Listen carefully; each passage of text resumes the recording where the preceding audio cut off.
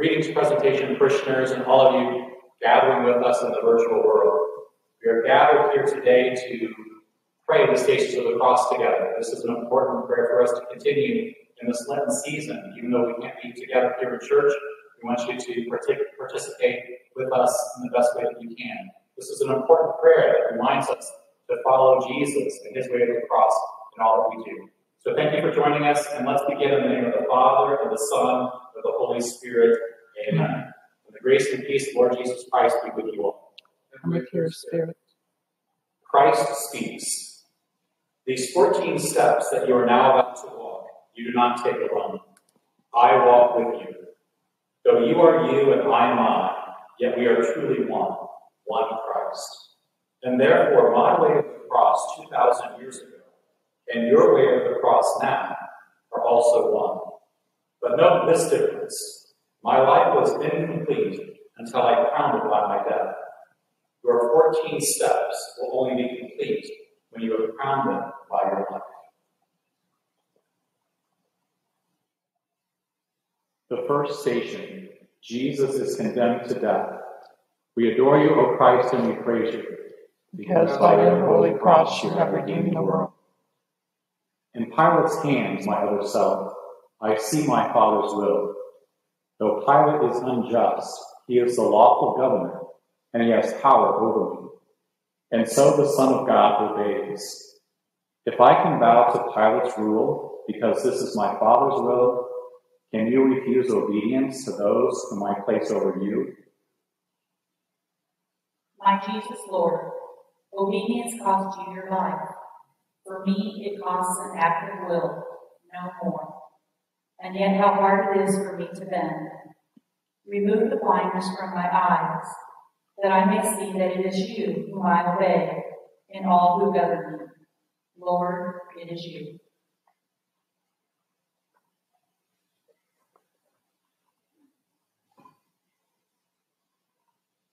The second station Jesus takes his cross.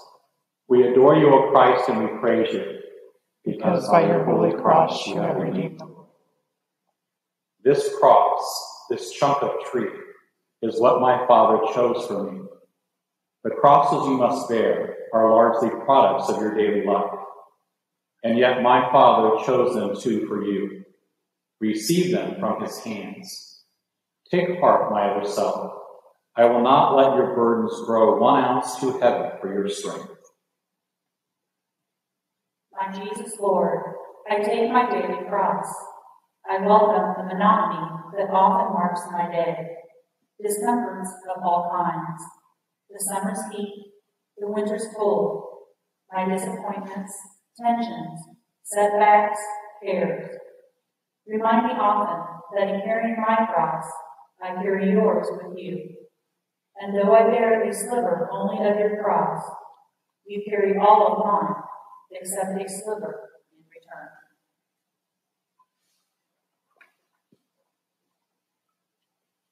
The third station, Jesus falls the first time. We adore you, O Christ, and we praise you. Because by your holy cross you have redeemed the world. The God who made the universe and holds it in existence by his will alone becomes a man, too weak to bear a piece of timber's weight. How human in his weakness is the Son of God. My Father willed it thus. I could not be your model otherwise. If you would be my other self, you also must accept without complaint your human frailties. Lord Jesus, how can I refuse? I willingly accept my weaknesses, my irritations and my moods, my headaches and fatigue, all my defects of body, mind, and soul, because they are your will for me, these handicaps of my humanity. I gladly suffer them. Make me content with all my discontents, but give me strength to struggle after you.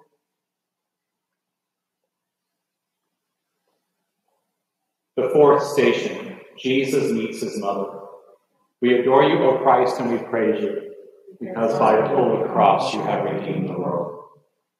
My mother sees my whipped body, She sees me kicked and driven like a beast. She counts my every wound. But though her soul cries out in agony, no protest or complaint escapes her lips or even enters her thoughts.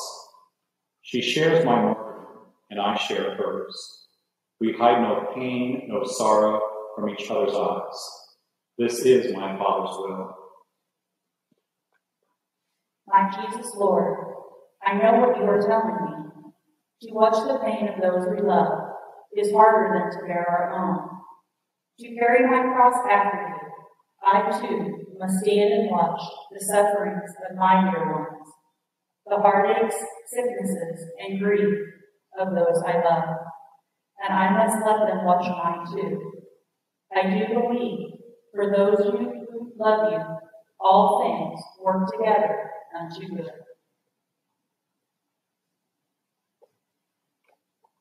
The fifth station Simon helps Jesus carry the cross. We adore you, O Christ, and we praise you, because by your holy cross you have redeemed the world. My strength is gone. I can no longer bear the cross alone.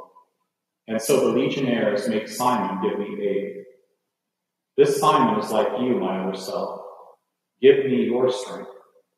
Each time you lift some burden from another's back, you lift as with your very hand the cross's awful weight that crushes me. Lord, make me realize that every time I wipe a dish, pick up an object off the floor, assist a child in some small task, or give another preference in traffic or the store, each time I feed the hungry, clothe the naked, teach the ignorant, or lend my hand in any way, it matters not to whom. My name is Simon, and the kindness I extend to them, I really give to you.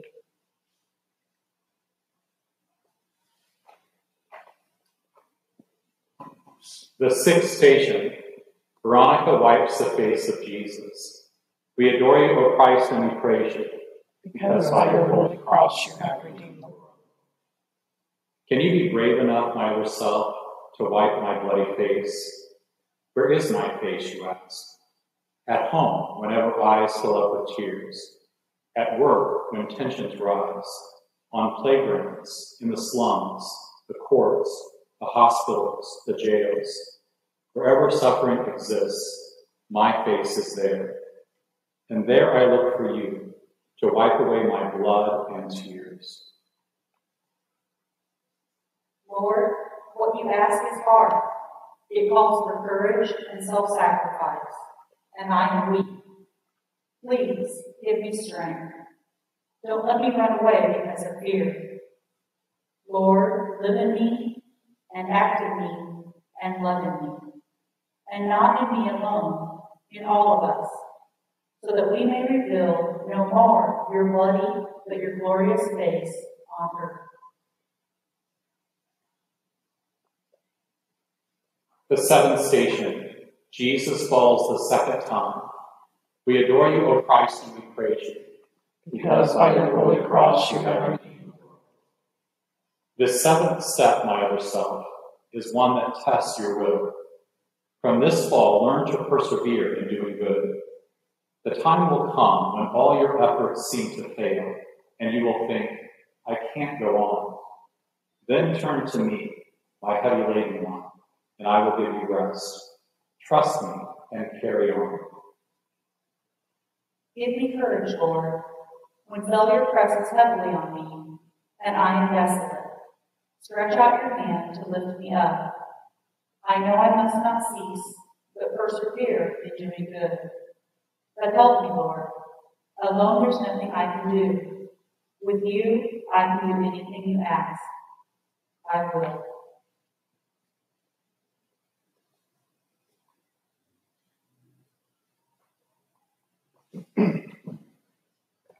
So what do you do? Unplug? I'm gonna put the white cord. I'll do it. Well, is the orange one over there? I have one.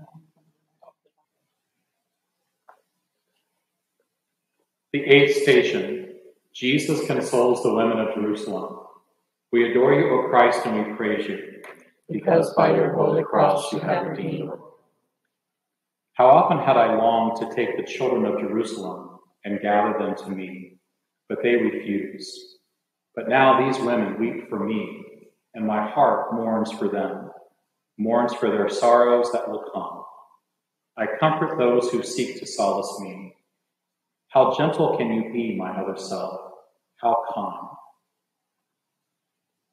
My Jesus, your compassion in your passion is beyond compare. Lord, teach me. Help me learn.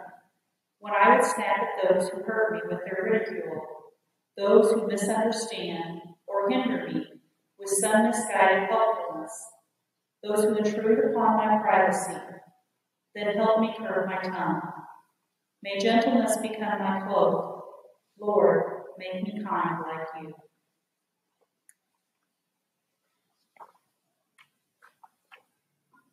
The ninth station. Jesus falls the third time. We adore you, O Christ, and we praise you. Because by your holy cross you have redeemed the world. Completely drained of strength, I lie collapsed upon the cobblestones. My body cannot move. No blows, no kicks can rouse it up. And yet my will is mine, and so is yours. Know this, my other self. Your body may be broken, but no force on earth and none in hell can take away your will. Your will is yours. My Lord, I see you taking a moment's rest, then rise and stagger on. So I can do, because my will is mine. When all my strength is gone, and guilt and self reproach press me to earth and seek to hold me fast. Protect me from the sin of Judas. Save me from despair. Lord, never let me feel that any sin of mine is greater than your love. No matter what my past has been, I can begin anew. The tenth station Jesus is stripped of his garments. We adore you, O Christ, and we praise you. Because by your holy cross you have redeemed the world. Behold my other self, the poorest king who ever lived. Before my creatures I stand stripped. The cross, my deathbed, even this is not mine. Yet who has ever been so rich? Possessing nothing, I own all, my Father's love. If you too would own everything, but not solicitous, be not solicitous about your food, your clothes, your life. My Lord, I offer you my all, whatever I possess, and more, myself. Detach me from the craving for prestige, position, wealth. Root out of me all trace of envy of my neighbor, who has more than I. Release me from the vice of pride, my longing to exalt myself, and lead me to the lowest place. May I be poor in spirit, Lord, so that I can be rich in you.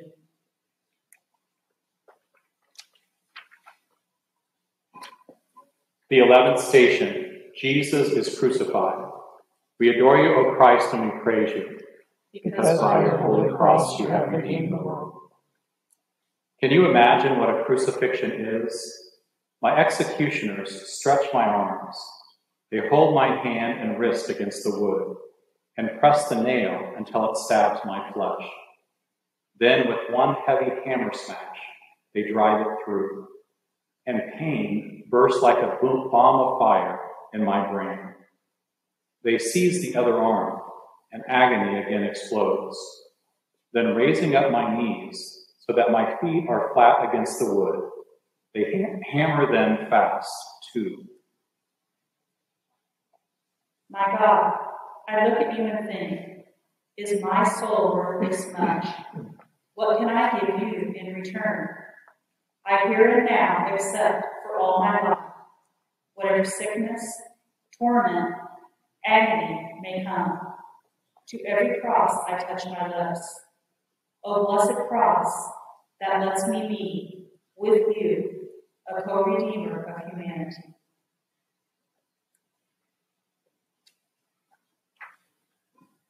Please kneel if you are able. The twelfth station Jesus dies on the cross. We adore you, O Christ, and we praise you. Because by your holy cross you have redeemed the world. The cross becomes a pulpit now. Forgive them, Father. You will be with me in paradise. There is your mother. There your son. I thirst. It is complete. To speak, I have to raise myself by pressing on my wrists and feet, and every move engulfs me in new waves of agony. And then, when I've borne enough, have emptied my humanity, I let my mortal life depart. My Jesus, God, what can I say or do? I offer you my death with all its pains, accepting now the time and kind of death in store for me. Not by a single instant would I lengthen my lifespan. I offer you my death for my sins and for those of all humanity. My God, my God, forsake us not. We know not what we do. The 13th station Jesus is taken down from the cross. We adore you, O Christ, and we praise you. Because by your holy cross you have redeemed the world. The sacrifice is done. Yes, my Mass is complete, but not my mother's and not yours, my other self. My mother still must cradle in her arms the lifeless body of the son she bore. You too must part from those you love, and grief will come to you. In your bereavements, think of this. A multitude of souls were saved by Mary sharing in my Calvary. Your grief can also be the price of souls. I beg you, help me accept the pardons that must come from friends who go away, my children leaving home, and most of all, my dear ones, when you shall call them to yourself. Then give me grace to say, as it has pleased you, Lord, to take them home. I bow to your most holy will. And if by just one word I might restore their lives against your will, I will not speak. Grant them eternal joy. The 14th station Jesus is laid in the tomb. We adore you, O Christ, and we praise you, because by your holy cross you have redeemed the world. So ends my mortal life. But now another life begins for Mary and for Magdalene, for Peter and for John, and you. My life's work is done. My work within and through my church must now commence. I look to you, my other self. Day in, day out, from this time forth, be my apostle, victim, saint. My Jesus, Lord, you know my spirit is as willing as my flesh is weak.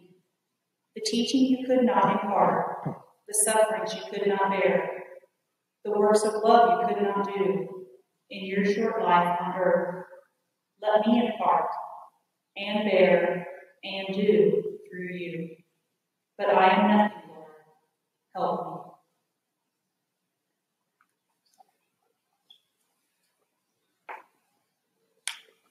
Help me. Christ speaks.